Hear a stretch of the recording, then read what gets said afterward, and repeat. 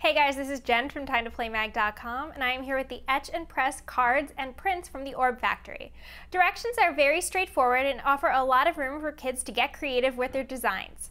Start by selecting one of the 20 foam sheets. There is a sheet shaped like a tree, a cupcake, a crown, and more. Once you've chosen your shape, use the wooden etching tool to create a unique design. Then add paint to the roller and roll it over the foam template.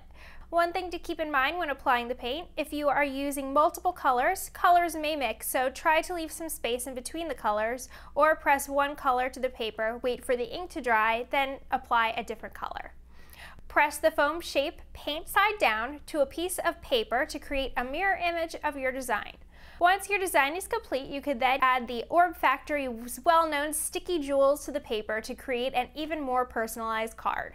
Also, be sure to prepare a work area for the craft before getting started, because any craft that has kids using paint is going to create a lot of messy fun. The kit also includes six envelopes, 12 sheets of paper, six paint colors, two carving tools, one foam roller, paint tray, and 350 plus sticky jewels. The Etch and Press Cards and Prints kit is for ages 4 and up from the Orb Factory. For more information on this and other toys, head over to our website at timetoplaymag.com, your number one source for all things play.